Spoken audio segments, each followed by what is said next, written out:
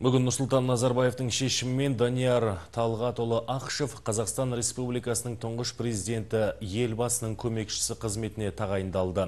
Данияр Ақышев бұған дейін ұлттық банкте және президент әкімшілігінде бірқатар қызметтерді атқарған.